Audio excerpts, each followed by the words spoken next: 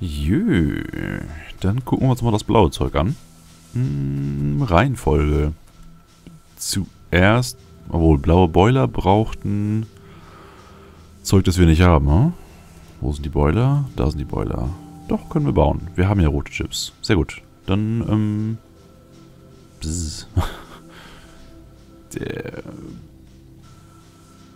Ja, das sind die nicht effektiven. Das ist quasi nur der Backup. Die untere Reihe hier ist nur Notfall, falls oben das mal nicht funktioniert. Also du, du hast 100 Temperatur. Okay, dann nehmen wir jetzt ein... Es fehlen 5 Pipes, dafür fehlt Stahl. Okay, Stahl holen. Nimm, nimm, nimm, nimm. Gib mich Stahl. So. Bau dafür mal ganz viele. Und bau ein erstmal davon, damit wir vergleichen können. Und sicherheitshalber nehme ich nochmal mehr Stahl mit. Habe ich grüne Chips? Nö, dann nehme ich auch noch grüne Chips mit. So. Die tickern durch. Dann haben wir gleich den einen und dann gucken wir, wie viel der verbraucht im Vergleich zu dem oder ob die Temperatur hier hinten abnimmt. Weil der hier hinten bekommt immer noch 100 Grad heißes Wasser. Zwar nicht mehr volle 10, sondern nur noch 9,7. Was die übrigens aber alle nur bekommen, was komisch ist. Aber es könnte daran liegen, dass hier keine Pumpe zwischen ist. Also eventuell sollten wir hier noch eine Pumpe reinmachen und da dann erst das Ding hoch. Damit das Wasser richtig rausgesaugt wird aus den Boilern.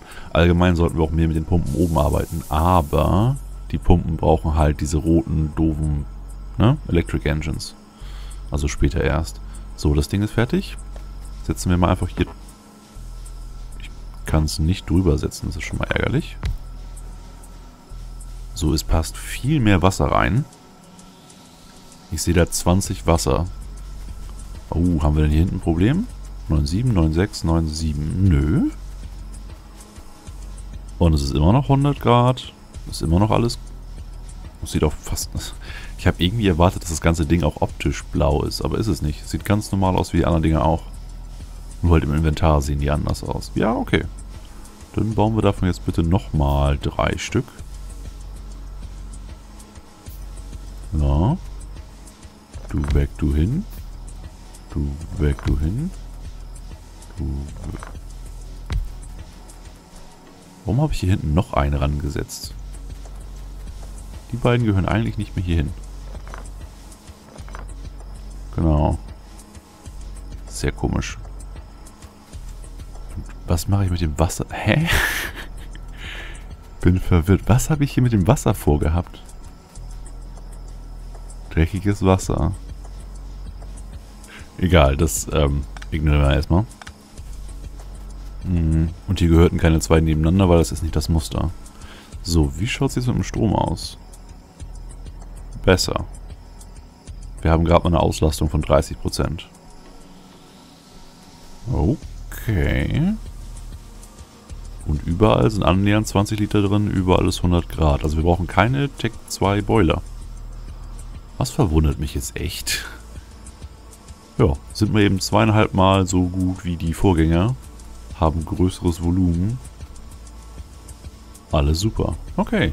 Ähm, Gummibäume. Wachsen die schnell genug? Kann ich da schon wieder was machen? Bin dann vorbeigelaufen, ha? Ja, da, Young Rubber Tree. Nee, braucht ein bisschen länger. Oh, nee, plopp, plopp, plopp, plopp. Sehr gut. Ah, die ganze Kohle wollte ich noch abladen. Okay, ähm, bevor ich jetzt nach oben gehe, um dann später wieder nach unten zu laufen, weil ich nicht genug Ressourcen habe. Was brauchen wir oben? Äh, vermutlich Fließbänder. Wenn ich wieder irgendwas irgendwo hin transportieren will. Wir sollten Steam Engines... Äh. Also sollten eigentlich Engines produzieren. Unter was fallen die jetzt? Die waren irgendwo hier, oder? Kann ich die überhaupt schon? Oh, das kann gut sein, dass ich noch gar nicht erforschen kann. Oh, und... Ah, genau. Das habe ich fast vergessen.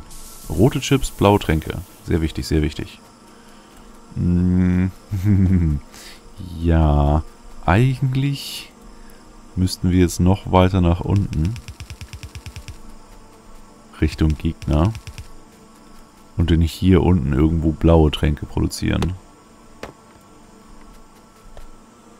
Blaue Tränke brauchten rote Chips, Stahl und Batterien. Rote Chips hier, Stahl hier, Batterien hier. Also es ist ein super Platz für die blauen Tränke. Ich brauche also noch eine Fabrik. Hör mal auf mit den Tränken. Ja. Noch eine Fabrik. Und noch mehr Strom. Gib mir davon ganz viel.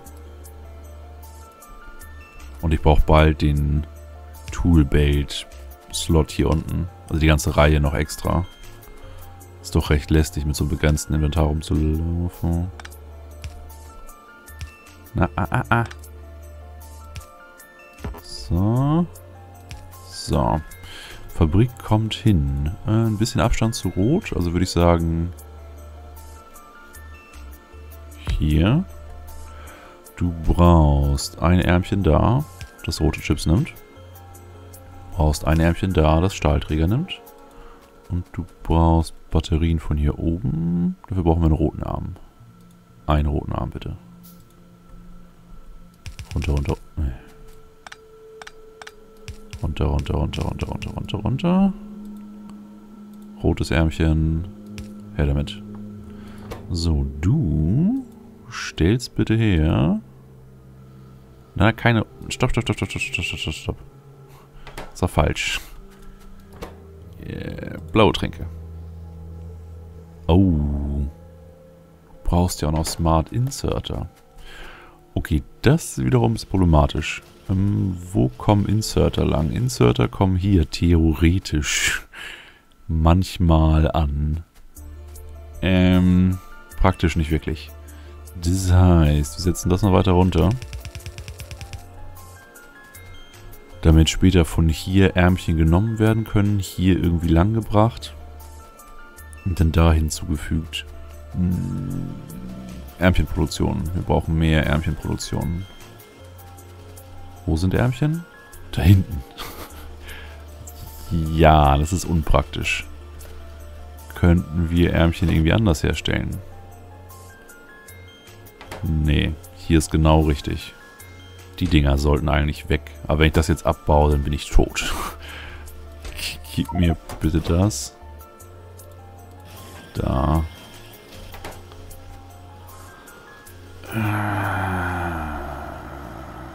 Stahlkiste.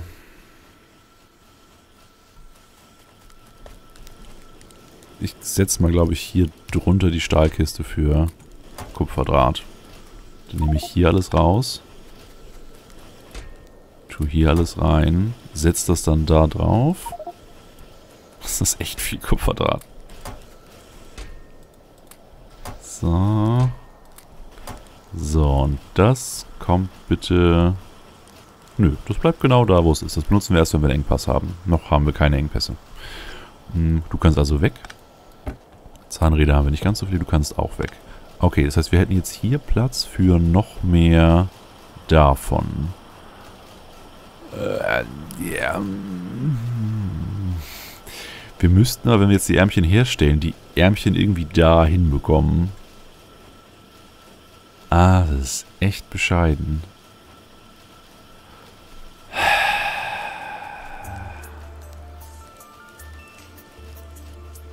Okay. Ähm, ich glaube, ich mache einen grundlegenden Fehler. Und zwar, dass ich davon ausgehe, dass wir hier mit dieser Linie hier klarkommen. Ich denke, ich sollte das anders strukturieren. Und zwar habe ich unten ein Endprodukt. Sagen wir mal die hellblauen Tränke. Und ich tue oben drüber nach und nach alle Sachen, die wir brauchen, um die hellblauen Tränke herzustellen. Das sind aber sehr viele Ressourcen, ne? Machen wir Maus over. Das wären in dem Fall hier, wir brauchen für einen blauen Trank, also ganz viele Fabriken, die die Zwischenprodukte herstellen. Und an Ressourcen brauchen wir Eisen, Kupfer, Stahl, Plastik, Batterien. Das könnten wir schon mal nicht auf zwei Fließbändern transportieren. Was unpraktisch ist.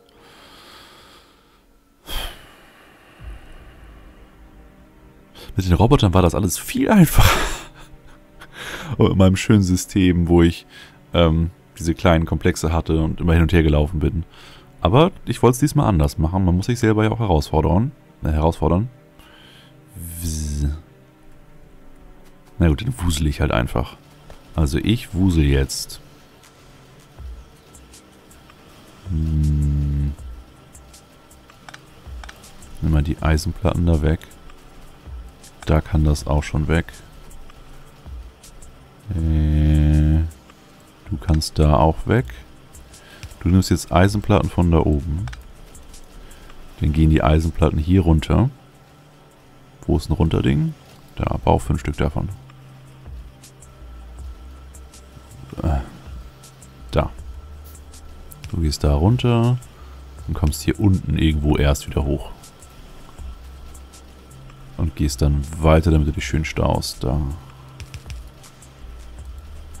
Genau. So, das heißt, wir haben jetzt hier einen Zugang, um weitere Ärmchen anzuliefern. Okay, ich brauche zwei Fabriken.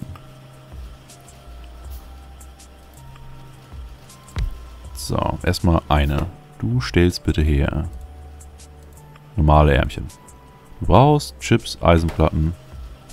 Das Eisenplatten bekommst du von hier. Das bekommst du von hier. Chips bekommst du von hinten. Dafür brauchst du wieder ein rotes Ärmchen. Rotes Ärmchen. So. Wir haben jetzt schon einen Engpass an der Chipproduktion.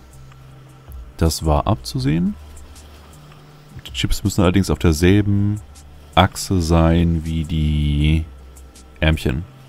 Weil die Ressourcen halt so verteilt sind. Außer wir versetzen die Ressourcen nochmal irgendwo anders auf. Wobei das ein bisschen unpraktisch wäre. Die Stahlproduktion muss einfach woanders hin. Wir könnten Stahl zum Beispiel... Wird irgendwo hier unten Stahl benutzt? Nee, ne? Das heißt, hier wird gar kein Stahl benötigt auf diesem Fließband. Okay. Wo wird denn Stahl benötigt? Hm. Bei Strommästen? Das haben wir aber nicht automatisiert bisher. Bei Öltanks, bei Fässern, bei Muni. Armor Piercing Rounds, wobei wir jetzt ja schon langsam bei den Lasertürmen sind. Äh, hierbei, aber die werde ich auch nicht automatisieren. Bei den Engines werden die gebraucht. Okay, ist ein Anfang. Hm. Kann ich irgendwo sehen, was Engines brauchen? Ich glaube, die habe ich noch gar nicht angefangen zu forschen. Für Autos brauche ich Engine. Engine ist ein eigenes Symbol. Da. Ein Engine braucht Stahl, Pipes. Pipes waren, glaube ich, auch aus Stahl. Also Stahl und Stahl und Eisen. Hm. Wenn wir die Stahlproduktion hier hinsetzen, zwei Stück, hätten wir Eisen in der Nähe. Wir könnten Stahl... Hier sind schon die Ärmchen. Äh, es geht einfach nicht. Wir brauchen noch einen zweiten Arm. Mindestens einen zweiten Arm mit Eisen irgendwo anders. Nächstes Problem. Selbst wenn wir die Engines herstellen, die Engines müssen dann wieder ganz nach oben zu dem Öl, damit daraus rote Engines werden. Aber das ist wahrscheinlich wieder ein Roboterjob für später. Und Kohle ist alle. Weil du hier alle bist. Das heißt, du wirst umgedreht. Du bekommst da Verstärkung. Ihr gebt mir alle eure Kohle. Und du bekommst eine zurück. Das ist doch fair. So, so. Hm.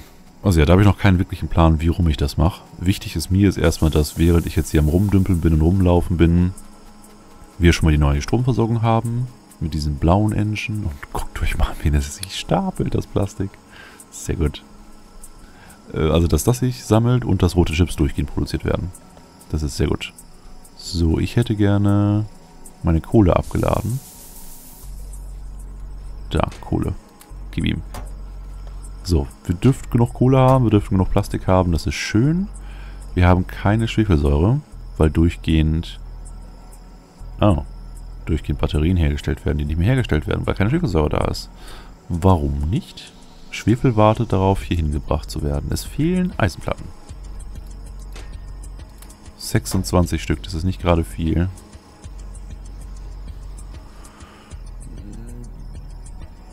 Warum braucht Schwefelsäure eigentlich, also verbraucht es eigentlich Eisenplatten?